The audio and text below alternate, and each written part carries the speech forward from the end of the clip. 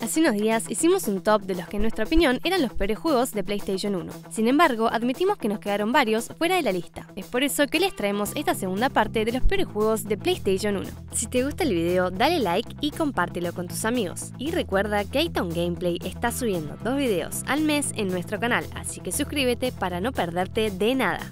Viene para acá, viene para acá, viene para acá. ¡Ahí está! ¡Vamos! ¡Vamos! ¡Lo tengo!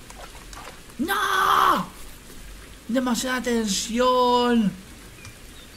El sedal se ha roto por la tensión. Tiré demasiado rápido. Hay que, hay que estar más relajado poco a poco. London Racer. La idea de hacer una carrera por Londres es una gran idea, pero lamentablemente este juego la ejecuta muy mal. Es muy aburrido, se parece más a un paseo solitario que una carrera y encima los competidores parece que ni siquiera fueran competidores, sino más bien turistas. Muy aburrido.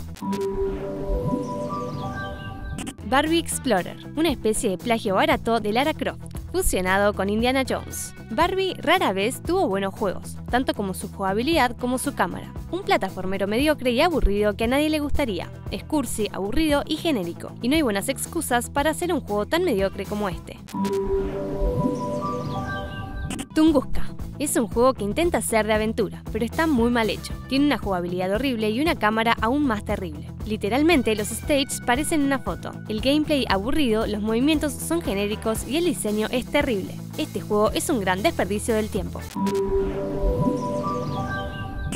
Frog Fighter, un plagio de Frogger pero con controles mucho más insoportables. Lo gracioso es que era totalmente innecesario, pues ya existía un Frogger para PlayStation 1 que por supuesto era mejor. Aparte, la idea del juego no es solo poco original, sino que hasta parece una tomada de pelo, un juego sencillamente ridículo.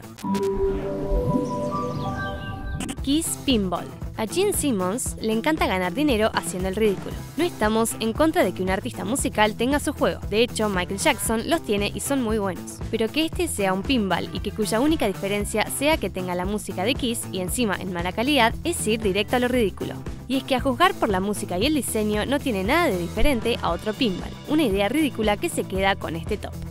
Y esta ha sido la segunda parte de los peores juegos de PlayStation 1 en nuestra opinión. ¿Estás de acuerdo? ¿Crees que faltó algún otro? Por favor, déjanos tu opinión en los comentarios. Puedes seguirnos en nuestras redes sociales de Facebook y Twitter, donde podrás elegir de qué quieres que sea nuestro siguiente top. Y si quieres ser parte de la familia de TGN, puedes ir al link de la descripción. Yo soy Florencia, hasta la próxima.